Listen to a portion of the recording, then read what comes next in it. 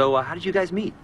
It's really funny, actually. Like, I was not into him at first. He used to shoot spit wads at me in Spanish class, which is like so junior high.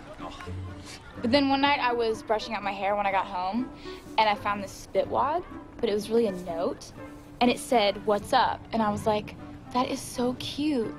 And then I liked him.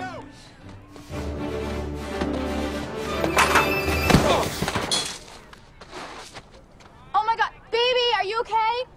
Walk it off, baby. Just walk it off. You're still hot, baby. You're.